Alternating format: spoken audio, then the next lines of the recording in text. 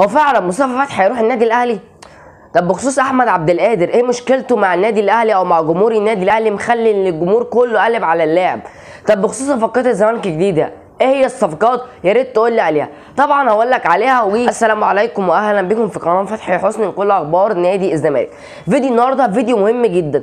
فيديو مهم جدا ليه بقى؟ لأن النهارده عندنا أكتر من موضوع. عندنا خصو... عندنا مواضيع تخص صفقات الزمالك الجديدة. عندنا برضو مواضيع تخص يعني المستشار مرتضى منصور واخد تصريحات وعندنا النهارده تصريحات مهمة جدا من المستشار مرتضى منصور وكمان كابتن أسامة نبيه اللي كان موجود امبارح كده في مداخلة أو كان موجود يعني آه في التلفزيون أو على قناة في التلفزيون أو على قناة إم بي سي مصر يعني بمعنى صح. فيعني طلع امبارح وقال لنا كده كام تصريح مهمين جدا. فالحلقة النهارده هتكون حلقة مهمة جدا حلقة نارية. أهم حاجة إنك تكمل الفيديو لغاية الآخر عشان تقدر تستفيد وتعرف كل الأخبار دي. ما تنساش طبعا ال like الجميل بتاعك الاشتراك في القناة وال comment برده الجميل بتاعك. أسيبكم بقى الفاس سريع وأرجع لكم مرة تانية.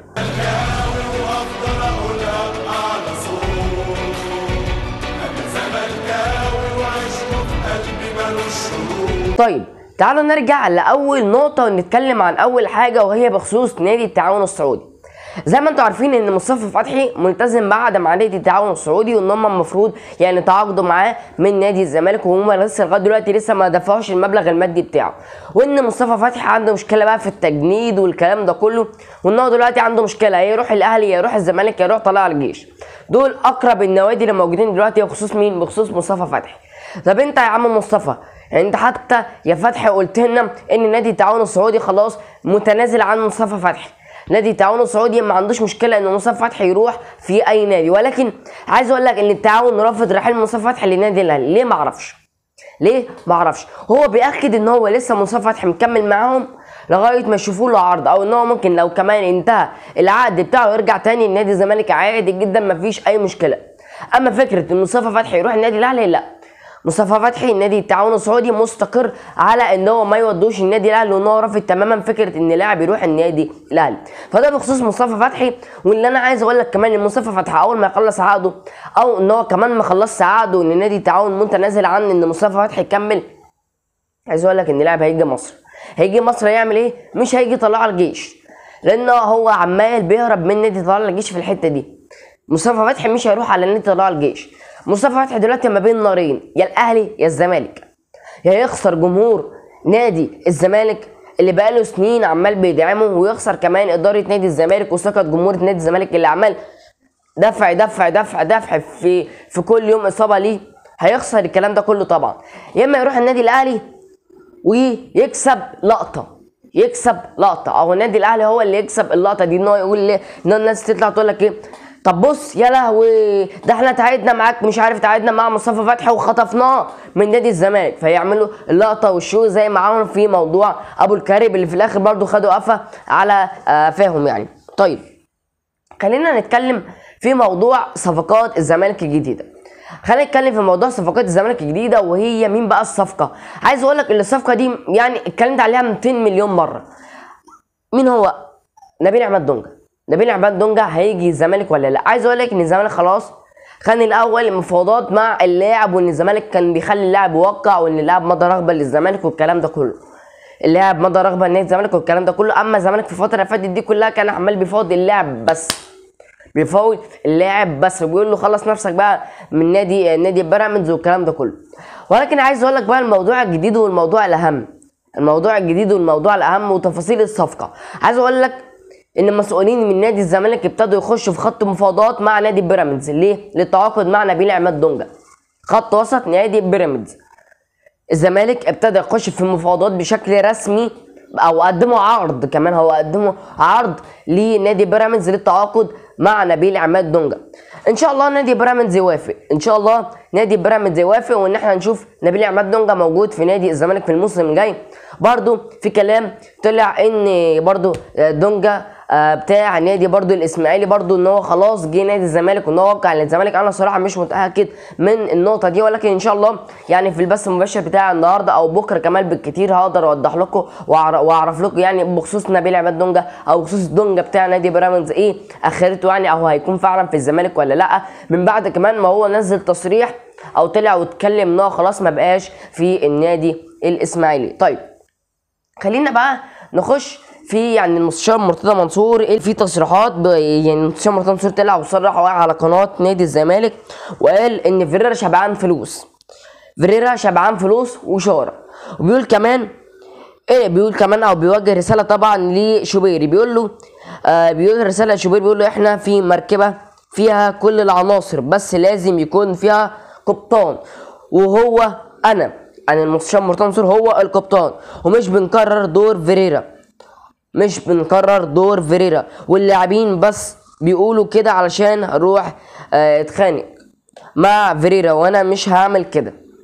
فعايز أقول لك إن بالنسبة لشوبير مش بيبطل هري شوبير مش بيبطل هري وكل شوية يطلع ويقول لك مش عارف فيريرا ماله فيريرا ماله عشان المستشار مرتضى منصور يقلب عليه.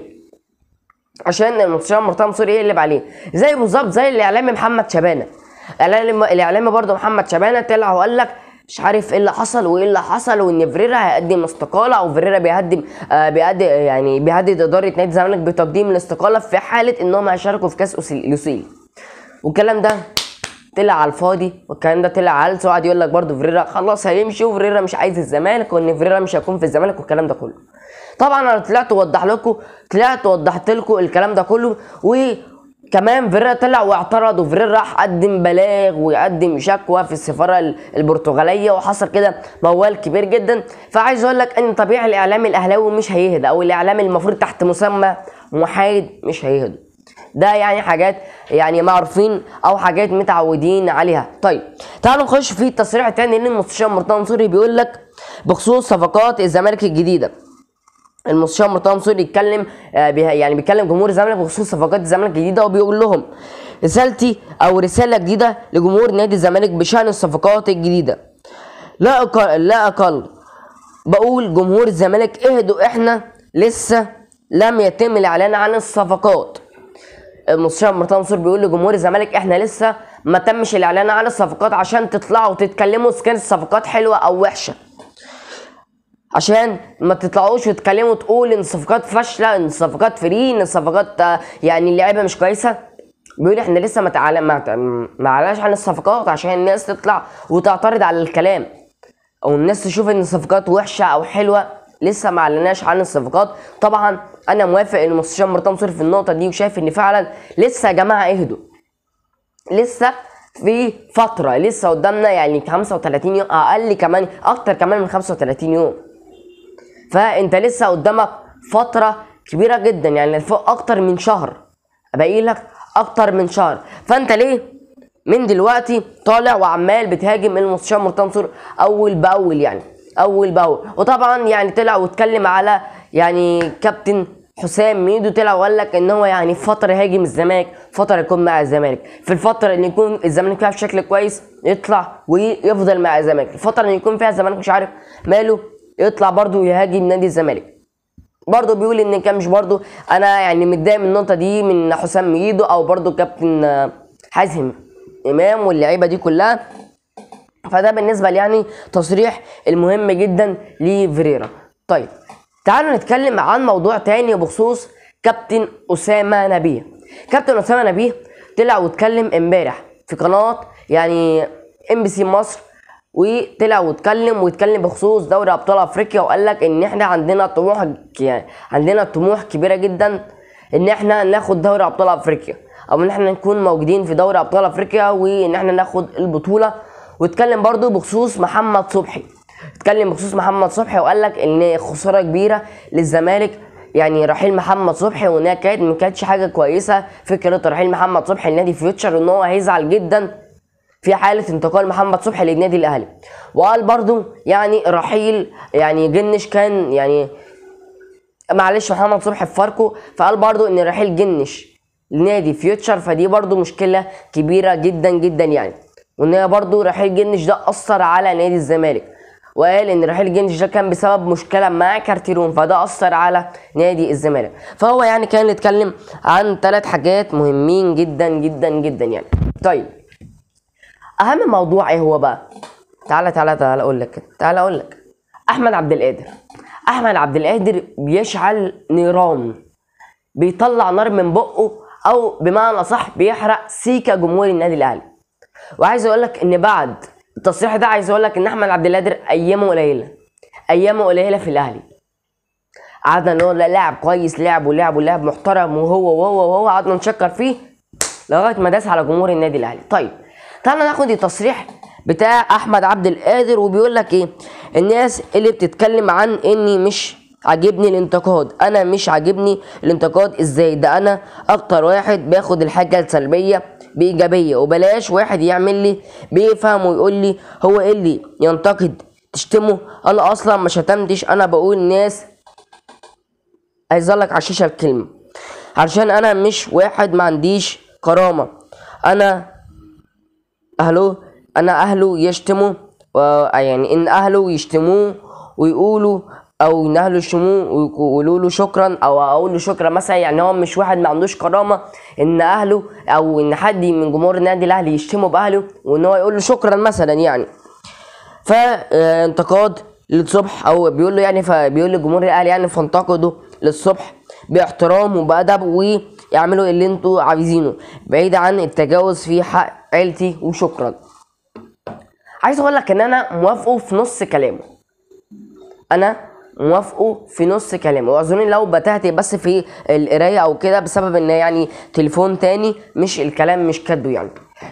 طيب أنا موافقه في نص الكلام لسبب. هو بيتكلم على انتقاد وإن جمهور النادي الأهلي بيشتموا أو بينتقدوا. في فكرة آه، إن هو مش عارف ماله وإن الدوري ضاع وإن هو لاعب مش عارف ماله وماله وماله. أنا موافقه في النقطة دي إن أنت عايز تنتقدني أو عايز تعترض على أي حاجة أو إن يكون في مشكلة مضايقاك مني اطلع وهاجمني أنا. اطلع وهاجمني أنا مش تهاجم عيلتي أو إنك تهاجم أهلي يعني سواء بالأب أو بالأم لا مش حاجة كويسة. مش حاجة كويسه فأنا موافق في النقطة دي. أما كون إن هو يشتم جمهور النادي الأهلي فحاجة ترجع مهما حصل برضو يعني يعني أنا موافقك في نقطة بس برضو اهدى شوية اهدى شوية. أدي أهو أحمد عبد القادر طلع وشتم جمهور النادي الأهلي. إيه؟ إيه؟ فين القدوة؟ فين المبادئ؟ فين الكرامة؟ فين وفين وفين؟ يعني أنا أحمد عبد القادر ده يعني لو ما خدوش مثلا مشي إيقاف غرامة أي حاجة من دي خلاص. يعني كده فعلا هيبقى الاهلي هيكون اتختم عليه لمدة 200 سنة قدام. 200 سنة قدام. فيعني بتيجي برضو فين مبادئ النادي الأهلي؟ فين لعيبة النادي الأهلي؟ قارن قارن قارن اللي بيحصل قارن اللي بيحصل. أهي دي لعيبة النادي الأهلي. اهي دي لعيبه النادي الأهلي. وده يعني ده اللي ظهر. أو ده اللي اللعيبه طلعت واتكلمت. تخيل ما بينها وما بين بعضهم بيقولوا إيه على الجمهور أو بيطلعوا ويتكلموا بيقولوا إيه. فده كان كلامي يعني بخصوص أحمد عبد القادر. وعايز أقول لك ان هو خلاص أيامه قليلة. أحمد عبد الله خلاص أيامه قليلة في النادي الأهلي بعد الكلام اللي طلع وقاله ده. وجمهور النادي الأهلي ابتدى بقى يهاجموا ويا احمد وإنت وإنت وإنت وإنت وإنت. جمهور النادي الأهلي برضو ابتدى يهاجم بسبب إيه التصريحات دي وأعتقد برضو إن الخطيب هيقول له خلاص كده bye bye شكرا ليك لغاية هنا. نفس الكلام برضو بيتطبق على سوارش واتكلمت أكتر من مرة. يعني ده موضوع تاني طبعا قلت لك إن سوارش المفروض وكيله قال إن هو يعني في عقد ملتزم سوارش سوارش ملتزم بعقد مع النادي الأهلي أو بشرط جزائي مع النادي الأهلي. فسوارش ما مش عايز يمشي سوارش ما عندوش أو سوارش ما عندوش الفكرة ان هو يمشي أو مش حاطط في دماغه ان هو يمشي من النادي الأهلي. وإن هو عايز يكمل مع النادي الأهلي وهو يعني هياخد بطولات مع النادي الأهلي في الموسم اللي جاي. هياخد بطولات كتيرة مع النادي الأهلي في الموسم اللي جاي. ولكن برضو يعني الأزمة جوه النادي الأهلي دلوقتي بسبب يعني نقطة صغيرة جدا إن إحنا الجمهور الأهلي مش عايزه ولا حتى النادي الأهلي محتاجه فهم هدبسوا نفسهم يعني في حوار سوارش بس كده ده يعني ده كده كان نهاية الفيديو. ما تنساش طبعا رقم الواتساب تحت في ال description لو أي حد حابب يتواصل معايا. ال like بتاعك الجميل ما تنساش برضو الاشتراك في القناة. وال comment الجميل برضو بتاعك ومستنيكوا طبعا في ال live بتاع النهارده. هيكون يعني ممكن الساعة 9 إن شاء الله النهارده يعني. وبشكر جدا طبعا كل الناس اللي مكملة معايا ال live لغاية هنا. اشوفكم بقى إن شاء الله في live جديد في أخبار سعيدة تخص نادي الزمالك بإذن الله. شكرا.